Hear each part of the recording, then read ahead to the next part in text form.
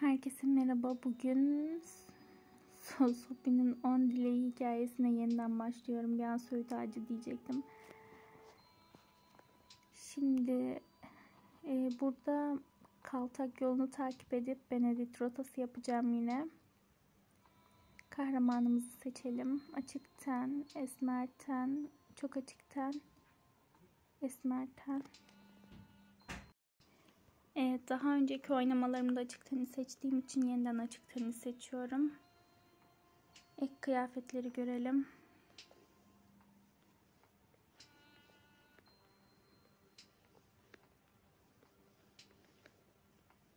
Bence ek kıyafetlerin hiçbiri güzel değil ama daha önce bunu almışım. Yine bunu alalım. Ek saç modelleri görmek istiyorum. Ee, ve aynı durum ek saç modellerinde de mevcut. Yine aldığımı alayım. Hikaye başlasın. Bölüm 1 Sürpriz ziyaret Sophie Yan ofisten bir çığlık geldi. Başımı masanın üzerindeki kağıt yığınından keskin bir şekilde kaldırdım. Aferin iş yerinde uyuyakaldın. Bir dakika. Dışarı çıkmak üzereydim ama tam zamanında eski kahve makinesindeki yansımamı fark ettim. Geçen Noel patronum tarafından nazikçe bağışlanmıştı. Parlak etiket kaşlarımın arasına yapışmış. Onu soyduktan sonra kendimi çabucak toparlamaya karar verdim. Buruşuk kıyafetleri düzeltelim. Ve kafamızdaki bu yuvayı düzeltelim. Yan ofisten bir kez daha korkunç bir çığlık geldi. Dışarı çıkmak için döndüm ama yere bir yığın kağıt düştü. Sonra dirseğimle bardağa dokundum ve onu yakalamaya çalıştım. Dizimi masaya çarptım. Kedinin çevikliği, patatesin zarafeti. İçeri girdim ve dikkatimi kendime çekmek için boğazımı temizledim. Rose Miller, Yabancı Diller ve Edebiyat Fakültesi dekanı tahta benzeyen deri bir sandalyede oturuyordu. Her zamanki gibi mutsuz görünüyordu. Aynı zamanda her zamanki gibi mükemmel. Neden bu kadar uzun sürüyor? Gözlüğümü burnumun köprüsünde garip bir şekilde düzelttim ve kıyafetleri düzeltmeye çalıştım. Dekan bana gülümsedi ama ikimiz de bu gülümsemenin ne anlama geldiğini çok iyi biliyorduk. Bugün parmakların düşene kadar rapor hazırlayacaksın. Miller kollarını kavuşturup masanın üzerine koydu. Birinci sınıf manueli iğrenç görünüyor. Düzelt. Giysilerimin kenarını gergin bir şekilde çektim. Ben her şeyi düzeltirim. Aslında gitmem gerekiyor. Sakinlik ve kaltak olmak üzere iki yol var diyor burada. İş iki saat önce bitti ve doğru kelimeleri bulmaya çalışırken tereddüt ettim. Her zaman yere baktım. Ailemle birlikte olacağıma söz verdim. Yıl dönümü yemeği düzenliyorlar. Miller doğruldu ve dudaklarını büzdü. Dekan kelimesinin çevirisi sizden son derece memnun değilim anlamına geliyordu. Sonra yüzüne yapabileceğin sahte gülümsemeyi çekti. Yıl dönümlerinde ailenle akşam yemeğini caydırmak için kimim ki? Miller sizden memnun değil. Bakalım biz ondan memnun muyuz? Bir saat daha kalabilirim demekten kendimi zor tuttum. Kız zaten iki saat kalmışsın sen de deli misin nesin? Keşke kızmasaydı. Bunun yerine başımı kaldırdım. Gözlerinin içine baktım ve başımı sallayarak ofisten ayrıldım. Her yerim titriyordu. Miller'a hayır demeyi başardığıma inanamıyorum. Yine de yarın bana geri tepeceğine iğrenç bir duygu, üniversiteden ayrıldığım ana kadar beni terk etmedi. Fakültenin ağır kapısını iterek temiz sonbahar havasına çıktım. Başımı kaldırdım ve bulutlu gökyüzüne baktım. Soğuk rüzgar beni ürpertti ve eve acele etmeme zorladı. Birkaç paslı yaprak yanımdan geçti ve öğrenciler tarafından çiğnenen fayansların üzerine yorgun bir şekilde düştü. Üniversitede yılın başlangıcı stresli bir dönemdir ve herkes kara kara düşünerek yürür ve kendine, kendi düşüncelerine ve müfredatına dalmış. Ama şimdi sokakta kimse yoktu. Arkamda güçlü bir İngiliz aksanıyla bir ses duyduğumda merdivenlerden aşağı iniyordum. Ve geldi bizim başrol erkeğimiz. İşten zamanında ayrıldığınızı hiç görecek miyim Bayan Preston? Dönmeden önce içten çığlık attım. Profesör Reed, ben de size aynı şeyi sorabilirim. Gülümsedi ve üst dudağının üzerinde yara izi ona yırtıcı bir görünüm verdi. Tamam sakin ol Sophie. Bu kadar kızarmana gerek yok ve kolunu çekmeyi bırak. Bir düşün. Karşında tüm dünyada sana asla dikkat etmeyecek en yakışıklı adam var. Profesör Benedict Reed kız öğrencilerin, öğretmenlerin ve hatta zavallı temizlikçilerin hayaliydi. Onun çekiciliğine ve İngiliz mizah anlayışına kimse karşı koyamazdı. Ama etraftaki herkese kibar olduğu kadar soğuk ve katıydı. Öğretim kadrosundan hiç kimseye ilgi göstermedi. Öğrencilerle ve öğretmenlerle flört etmekten kibarca kaçındı. Üniversite çevrelerinde eşcinsel olduğu bile söylendi. Ben kesinlikle inanmadım. Böyle bir adam eşcinsel olamaz. Bu şansım olmadığı anlamına gelir. Yumuşak, saran sesi beni düşüncelerimden çıkardı. Bugün kitap kulübünde yoktunuz. Bu arada ben Benedict'i şeye benzetiyorum. Günahkar Londra'daki Grey'e. Biraz da Göklerin Sırrında bir adam vardı. Winchester muydu? Ona benzetiyorum ikisinin karışımı gibi. Sizi özledim gibi söyledi ama bunun böyle olmadığını çok iyi biliyordum. Reed yeterince zeki bir iş arkadaşına saygı duyabildiği kadar bana saygı duydu. İfadelerinde çift anlam anlamak, harap, anlamak aptalcaydı. Ay, masamdaki bir yığın rapor yüzünden toplantıyı kaçırmak zorunda kaldım. Son zamanlarda bunu sık sık yapıyorsunuz. Kitap kulübünün sizi rutinden uzaklaştırdığını sanıyordum.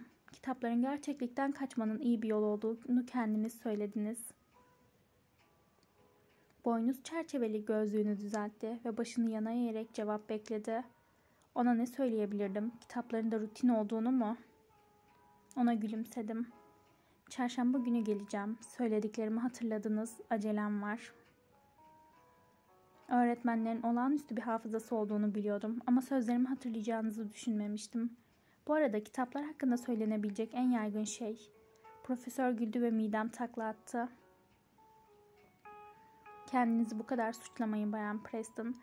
Hepimiz sıradan şeyler söylüyoruz. Sanırım bana Sophie demeni istedim. Saçımı kulağımın arkasına sıkıştırdım. Ben de bana Benedict demeni istedim. Biraz daha yaklaştı ama güvenli bir mesafede durdu. Bunu yapmadığınıza göre size bu şekilde hitap etmek zorundayım. Sessiz kaldım. Ayakkabılarımı dikkatle inceledim. Reed garip sessizliği bozdu. Çarşamba günü Francois Sagan'ı Merhaba Üzüntü okuyoruz orijinalinde. Bize birkaç sayfayı yüksek sesle okumanızı umuyordum. Öğrenciler sesinizi seviyor. Ya siz? Benedict sizinle ilgilendi. Bunu düşünmeden önce söyledim. Ama yüzüne bakmak için başımı cesurca kaldırdım. Reed beklenmedik bir şekilde sıcak gülümsedi. Fakültedeki herkes melodik sesinizi seviyor.'' Bugün duymak istediğim şey bu değil ama hiç yoktan iyidir. Çarşamba günkü toplantıyı kaçırmayacağım. Profesör Reed başını salladı ve hoşça kal dedi. Yüksek figürünün ardından baktım ve iç çektim. Şimdi kesinlikle ona salya akıtan öğrenciler gibi görünüyordum. Yanaklarım utançtan yanıyordu. Kes şunu sop. Nedir bu düşüncelerindekiler? Yürümem lazım benim. Eve yürümek beynimi temizleyecek.'' Şapkamı kulaklıklarıma kadar kulaklarıma daha sıkı çektim ve büyük bir eşarp bağladım. Ailemin evine çok yakındı. Köşede bir dans okulunu, 24 saat açık bir kafe ve bir park geçmek gerekiyordu. Hızlıca yola geçtim. Ve dans okulunun önündeki ıslak asfalttan yürüdüm. İspanyol müziği oradan boğuk boğuk geliyordu. Her zamanki gibi Diego sokakta sigara içiyordu ve başka bir güzellikle konuşuyordu. Haftada üç kez tango, salsa ve rumba öğretiyordu. Beni görünce hemen kıza olan ilgisini kaybetti ve el salladı. Hola, Signorita Preston. Ben de el salladım. Hola, Diego. Yürüdüm ve gülümsemeye devam ettim. Bu sefer dans eden çiftlere hayran olmak için duracak zaman yoktu. İki dakika sonra birinin adımları beni yakaladı. Her zamanki gibi acelen var. Burnunu asfalta gömdün, sırtını kamburlaştırdın.'' Evet ama anlaştığımız şeyi unuttun mu? Herkesin düzgün ve mükemmel bir duruşla yürümesi onun için hayati önem taşıyordu. Derin bir iç çektim ve sırtımı düzelttim. Beni her gördüğünde bunu hatırlıyorsun. Nasıl unutabilirim? Arkamdan geldi ve ellerini omuzlarıma koydu. Dikkatle düzelterek sonucu yandan değerlendirdi. İşte bu. İşte böyle. Diego açık mizacı ve muğlak şakalarıyla beni her zaman çok utandırdı. Ama fırsat doğduğunda onu görmek beni mutlu ediyordu. İçinde hafif, kaygısız bir şey vardı. Sanki sadece bugün yaşıyormuş gibi. Her şeyi önceden planlamayı seven biri olarak bu bana çılgınca geliyordu. Sonra önümde durdu ve çenemi kaldırdı. Karar verdim. Uzaklaşmayın, kenara çekilin. Diego sizinle ilgileniyor. Her zaman ileriye bakmalısın. Aksi takdirde herkes güzelliğini nasıl görecek? Utandığımı görünce hünerli bir hareketle belimden tuttu ve bir dans adımında döndürdü. Beni sert bir şekilde yere yatırdığında belgelerin olduğu klasörlerim neredeyse asfalta dağıldı. Aynı hızla beni yukarı kaldırdı ve gözlerimin üzerine kayan şapkamı düzeltti. Toparlanmaya vakit, vaktim olmadı. Direkt bana bir soru sordu. Her görüşmemizde sorduğu soru. Benimle ne zaman çıkacaksın Hermosa? Yüzümde şımarık ve aptal bir gülümseme belirdi. Dans etmeyi öğrendiğinde. Diego sahte bir korku içinde ellerini göğsüne koydu. Görünüşe göre onu zavallı İspanyol kalbinden yaraladım. Gitmem gerek. Karşıya geçerken sesini duydum. Bir dahaki sefere Signorita Preston. Birinci sınıflar için bir manuel düşünerek 24 saat açık bir kafeye gittim. Dışarısı karanlıktı ve oldukça sessizdi. Yağmur iğrenç bir şekilde çiseliyordu. İş hakkındaki düşüncelerime o kadar dalmıştım ki bana doğru uçan bisikletçiyi fark etmedim. Bir darbe bekleyerek gözlerimi kapattım. Kız kenara çekilsene gözlerini kapatana kadar ya. Ama hiçbir şey olmadı. Çünkü birinin elleri beni bir kenara çekerek kurtardı. Bazen seni kurtarabilmem için kasıtlı olarak başın belaya giriyor gibi geliyor bana. Gözlerimi keskin bir şekilde açtım. Mitch. Başka kim olabilir? Garip bir şekilde kollarından fırladım ve kıyafetlerimi düzelttim. Mitch elleri kalçasında süpermen gibi durdu. Bugün mesaime yaralarını dikerek başlamak istemiyorum. Bir şekilde bir süper kahraman olarak kabul edilebilir. Mitch yerel hastanede travma cerrahı olarak çalışıyordu. Her zaman düzgün, süper odaklanmış ve çoğu cerrahlar gibi alaycı. Doğuştan gelen beceriksizliğim göz önüne alındığında ona sık sık rastladım. Süre zarfında arkadaş olmayı başardık ve bir doktora ve bir üniversite laboratuvar teknisyenine yakışır bir şekilde birbirimize saygılı davrandık. Nasıl gidiyor yürüyen felaket? Böyle bir iltifat için ona gücenemedim bile. Üç yerden kırık bir kol, dizlerde çok sayıda çürük ve benim favorim, burkulmuş ayak bilekleri kendileri için konuştu. Aynı, iş ev iş. Vardiyadan önce hızlı bir atıştırmalığın mı var? Doğru, kendime bir sandviç alıp seninle sohbet etmek için tam 15 dakikam var. Hiçbir jestle beni kafeye davet etti. Son derece arkadaşça olduğunu anlamama rağmen ilgisinden memnun kaldım. Çağrı cihazını duyduğumda zaten kabul ettim. Kaşlarını çattı. Kahretsin iş. Çabucak bir sandviç alıp koşuyorum. Her şeyin yolunda olduğunu bildirerek şiddetle başımı salladım. Hoşça kal felaket. Kendine iyi bak. Hoşça kal Mitch. Eve çok az kaldı. Parktan geçmek ve köşeyi dönmek, park düşüncelerimi düzenlememe yardımcı oldu. Bu geç saatte neredeyse hiç insan yoktu. Devamlı bir koşucu dışında beni fark eder etmez yüzü bir gülümsemeyle aydınlandı. Merhaba Sophie. Hiçbir yere gitme. Zaten sana koşuyorum. Logan Price. Benim çocukluk arkadaşım. Kelimenin tam anlamıyla bir kap paylaştığım kişi. Erkeklerle ilgili tüm öfke nöbetlerini gören, notlarım kötüyken gözyaşlarımı silen ve her başarımı kutlayan. Saatime baktım ve ona bağırdım. Yavaş hareket ediyorsun, formunu mu kaybediyorsun? Şakam ona hiç dokunmadı. Logan iyi biriydi. O kadar iyi ki başka kızı sevmesine rağmen benimle baloya bile gitti. Beni kimse davet etmediği için gözyaşlarıma dayanamadı. Yolda durdum. Bana koşmasını bekledim. Logan koşarak beni kollarına aldı. Bırak beni ayı. Beni kocaman elleriyle sıkarken güldüm. Beni yere koydu ve gizli bir el sıkışma için hazırlandım. Biz bunu yaparken 24'te çocukça davranmayı bırakmanın zamanı geldiğini düşündüm. Ama Logan'ın yüzü her seferinde öyle bir gülümsemeyle aydınlandı ki karşı koyamadım. Akşam yemeği için eve acele mi ediyorsun? Nereden biliyorsun? Ben bir polis memuruyum. Unuttun mu? Ve hiç sadece övünmek istedim. Eline bir dosya ile vurdum. Kardeşin söyledi.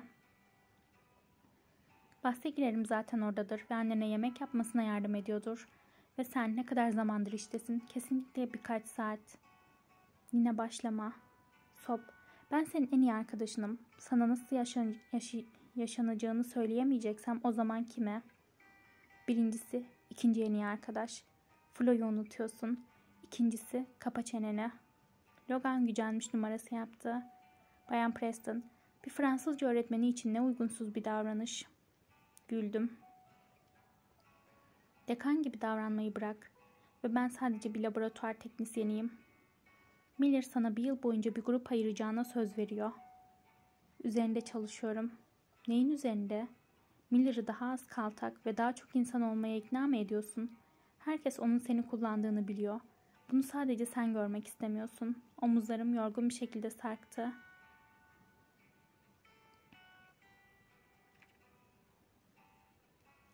Yolun adını ben söyleyemeyeceğim. Siz artık okuyun.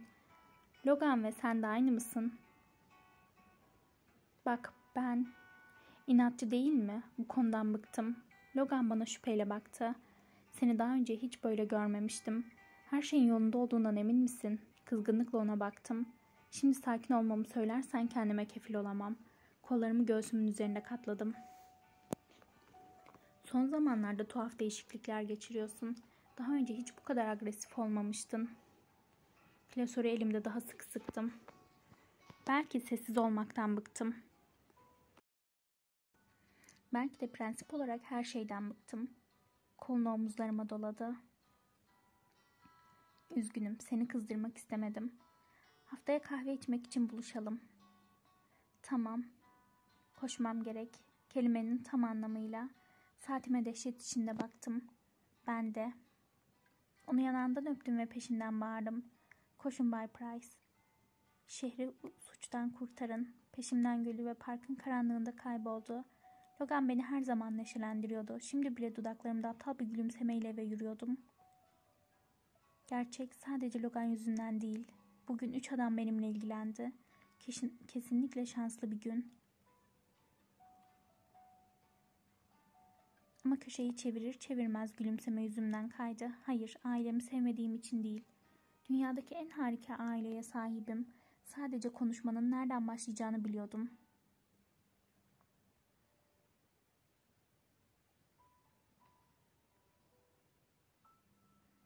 Bakın, aramız nihayet varlığıyla bizi onurlandırmaya çalıştı. İşte söylemiştim. Merhaba anne. Annemin yemeklerinin nefis kokusunu aldığı mutfağa gittim. Ellerini önlüğünün üzerine sildi ve sarılmak için uzattı. Buraya gel kitap kurdu. Annem iki kişiliği birleştirmeyi başardı. Sevimli bir ev hanımı ve ciddi bir nükleer fizikçi. Kelimenin tam anlamıyla. Üstelik kendine aynı kocayı da buldu. Koltukta rahat bir şekilde oturan ve gazete okuyan babam da bir nükleer fizikçiydi. Bu ikisi dünyadaki en beceriksiz beşeri bilimleri nasıl yaratmayı başardılar anlamıyorum. Selam baba. Gazeteden başını kaldırıp gözlüğünün üzerinden bana baktı. Yorgun görünüyorsun. Babanın selamından daha iyi ne olabilir? O çok konuşkan bir adam değildi. Görünüşe göre bunu ondan aldım ve annemden alay ve ironi. Gerçi zekamı sadece evde ve arkadaşlarımın arasında kullanabilirim. Sevdiklerimin yanında bambaşka biri oluyordum. Ciddi bir öğretmen gibi davranmak zorunda değildim. Hmm, laboratuvar asistanı demek istedim. Nefes alıp kendim olabilirdim. Parker nerede? Zaten burada olduğunu ve şefkatli bir oğul tasvir ettiğini sanıyordum. Annem gözlerini yuvarladı. Bir saatliğine ayrılacağını söyledi. Ama nereye gittiğini söylemedi. Harika. İşi nasıl? Annem tavuğu fırından çıkardı ve masanın üzerine koydu. Neden ona kendin sormuyorsun? Hayır, teşekkürler.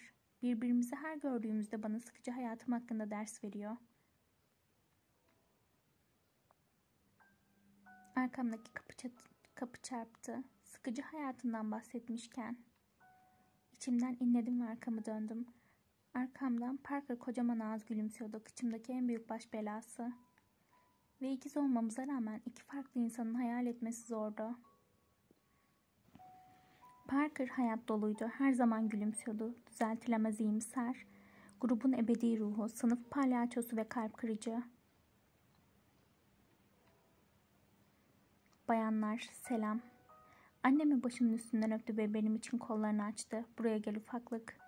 Senden sadece bir dakika daha büyüğüm. Ah evet hayatım boyunca bunu sana hatırlatacağım. Bana sıkıca sarıldı, beni yerden kaldırdı. Bacaklarım tuhaf sallanıyordu ve ben ve bu onu hep eğlendiriyordu. Beni yere koyup havuç masadan aldı ve yüksek sesle çatırdamaya başladı. Neredeydin? Parker korkuyla sarsıldı. Of baba koltuğun konuştuğunu sandım. Bir saattir ondan çıkamadığını görüyorum. Verimli vakit geçiriyorsun. Babam Parker'a sıkılmış bir bakış attı ve gazetesine geri döndü. Konuşkanlığına bayılıyorum baba. Sessizliği nasıl dolduracağını her zaman biliyorsun. Kıkırdadım. Onu rahat bırak. Nasılsın anlat. Okları bana mı yönlendiriyorsunuz? Zekice Sophia Maria Preston. Çok zekice ama işe yaramayacak. Annem kurnaz bir gülümsemeyle salatayı dilimledi. Seni uzun zamandır görmüyoruz. Çünkü en sevdiğin işin içinde boğuluyorsun. Dirseklerini masaya koydu ve, koydu ve kirpiklerini kırptı. Bu yüzden bugün hayatının nasıl ilerlediğini anlatacaksın. Bir içkiyle yer küre yöneldim. Uuu o kadar mı kötü?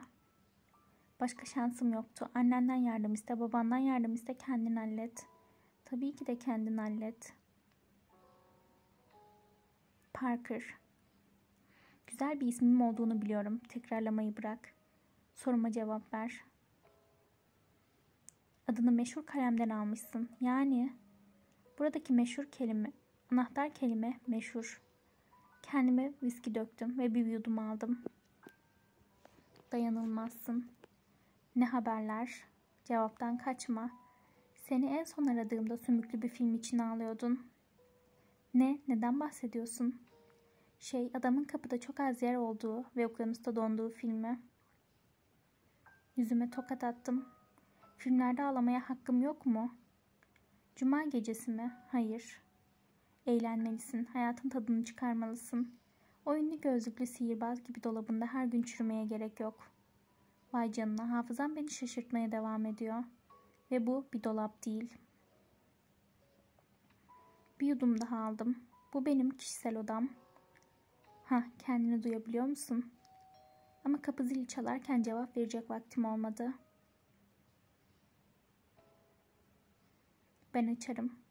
Bu konuşmadan kaçınmak için herhangi bir şey. Kapıyı açtıktan sonra ağzım açık ayakta kalmaya devam ettim. Flo. Kapının arkasında gerçekleşen bir erkek ve belki de kadın rüya vardı. En iyi arkadaşım Florence Cooper. O Flo. Flo ünlü Space, Space şirketinde çalışmaya davet edildiğinden beri birbirimizi bir yıldır görmedik. Kaliforniya'ya gitti. Beni sürekli kaygı duygumla yalnız bıraktı. Bonjour.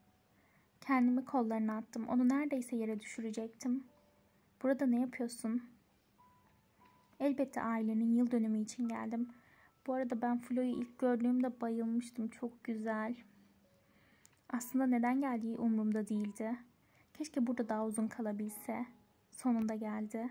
Parker geldi ve Flo'nun montunu çıkarmasına yardım etti. Neler olduğunu anlamadan onlara baktım. Parker beni havaalanında karşıladı. Ne, neden ben değil diye bağırmak istedim ama bunun yerine söyledim. Parker'ın olması ne kadar güzel. Flo aileme sarılırken Parker'ın ona nasıl baktığını fark etmemek mümkün değildi. Tabii ki bir zamanlar gençliğinde ondan hoşlanıyordu. Ama uzun zaman önceydi. Ya da hayır mı? Bunu düşünmek istemiyorum. Parker ve Flo'nun bir çift olabileceği fikri beni dehşete düşürüyor. Tam nedeni neden ben bilmiyorum. Düşüncelerim annemin melodik sesiyle bölündü. Herkes masaya. Akşam yemeği şaşırtıcı derecede sakin geçti. Artık kimse özel hayatımla ilgili sorularla beni rahatsız etmedi ve sessizce yemek yemenin ve hiçbir şey hakkında konuşmanın tadını çıkarabildik. Ebeveynler daha yeni yatmaya gitti. Biz de rahatlamak ve bir şeyler içmek için terasa çıktık. Flo tam nasıl olduğundan bahsediyordu. Zor bir iş ama buna değer. Flo'nun Space'te ne, ne yaptığı hakkında hiçbir fikrim yoktu. Bir beşeri bilimler uzmanı için çok zor. Kesin olarak bildiğim bir şey var. Flo 30 yaşlarında tanıdığım tüm kadınlardan daha fazlasını başardı. Parker arkasından kapıyı sessizce kapattı ve bir şişe viskiyle çıktı. Parti başlasın. Şş, ebeveynler uyuyor. Flo'nun yanındaki sandalyeye uzandı ve o konuşmaya devam etti. Bundan bahsetmemeliyim ama şu anda yeni bir Tesla modeli üzerinde çalışıyorlar. Space ile kesinlikle hiçbir ilgisi yok ama insanlar konuşuyor. Yani yeni Tesla sabırsızlanıyorum. Farların müziğe yanıp sönmesi için bir işlev beklerdim. Böyle bir araba için tamamen gereksiz bir şey. Bu arada Flo ailem için mükemmel bir kız olurdu. Aynı zihniyete sahipler. Fizikçiler ve mühendisler arasında uyum sağlayamıyorum. Neden bizimle çalışmıyorsun? Parker ile konuştu. Yetenekli BT elemanlarına ihtiyaçlarımız var. Ben şimdiki halimden oldukça memnunum. Birden doğruldum. Dur. Yani sen her şeyden memnun olabilirsin ama ben olamam. Sof. Bir ayda senden daha fazla kazanıyorum ya da altı ay hatta bir yılda. Her cuma arkadaşlarımla dışarı çıkıyorum. Arkadaşların var mı? Parker gözlerini yuvarladı ve devam etti. İş dışında bir hobim ve hayatım var. Seni boşuna harcadığımı mı düşünüyorsun? Senin de yaşamanı istiyorum. Flo sessizce viski içti. Bakışları birinden diğerine çevirdi. Yaşamadığımı sana kim söyledi? Herkes senin gibi dışa dönük değil. Parker havayı çekti. Sorun da bu sop. Göründüğünden çok daha ilginçsin, esprili, zeki, anlayıcısın. Herhangi bir konuşmayı destekleyebilirsin. Ama bir şekilde karakterinin diğer tarafını seçiyorsun. Babam gibi olursun. Flo bu ana kadar sessiz kaldı. Balkabağım, kardeşine katılıyorum. Affet. Boşuna kızmıyor. Ne söyleyeceğimi bilmiyordum. Hayatımın ne zaman böyle bir rutine dönüştüğüne dair hiçbir fikrim yok. Flo ellerini salladı. Hadi başka bir şey hakkında konuşalım. Hayatında özel biri var mı? Kaşlarıyla komik bir şekilde oynadı. Bu arada sormuş olman iyi oldu. Bugün çok garip bir şey oldu. Arka arkaya dört erkekle buluştum. Şey üç Logan sayılmaz. Neden? Parker'la bakıştılar. Şaka mı yapıyorsun? O benim çocukluk arkadaşım. Onu bir erkek olarak görmüyorum. O zaman bana diğer üçünden bahset. Bir yudum viski aldım ve Benedict'ten bahsettim. Diego'dan, hiçten, kimseden bahsetmedim. Aa, hayır, hayır, hayır, hayır, hayır. Ne oluyor? Bir an hepsine birden nasıl bastım ve gezdim fark etmedim. Sana Profesör Reed'den bahsettiğimi hatırlıyor musun? Flo şiddetle başını salladı. Ateşli bir profesör. Parker kaşlarını çattı. Şey o kadar da ateşli değil. Bana karşı çok soğuk davranıyordu. Elimdeki bardağı döndürdüm. Bazen benimle flört ettiğini düşünüyorum. Ama çoğu zaman bunun insanca bir nezaket olduğu ortaya çıkıyor. Kadınların flört gibi algıladıkları. Sustum. Flo omzumu okşadı. Seninle flört etse bile kimse kurumsal etiği iptal etmiyor. Bu yüzden dikkatli ol. Şaka mı yapıyorsun? Prensip olarak bu konuda endişelenmemeliyim. Benim gibi birine ilgi göstermesi pek olası değil. Hala sessiz olan Parker konuştu. O zaman bir şeyleri değiştirelim. Sana dikkat etmesine izin ver. Tabii istediğin buysa. Benedict'e olan hislerin artıyor. Flo aniden sıçradı. Bir fikrim var. Telefonunu çıkardı ve hemen bir şeyler yazmaya başladı. Zaten ne kadar viski içtiğimizi düşünürsek, düşünürsek çok isabetli çok isabetli hareket etti. İşte bu, bitti. Biletler alındı. Midemde hoş olmayan bir his oluştu. Flo, ne yaptın? Dişlerini göstererek sinsice gülümsedi. Bu akşam öğrendiğim bir şey varsa o da senin rahatlaman gerektiği. Parker'ın gözleri bir tahminle parladı. Eğlenmek, takılmak ve bu tek bir anlama geliyor. Vegas bebeğim. Ya işte millet böyle bir gecede karar alıp Vegas'a uçuyor. İkinci bölümde görüşmek üzere. Kendinize iyi bakın.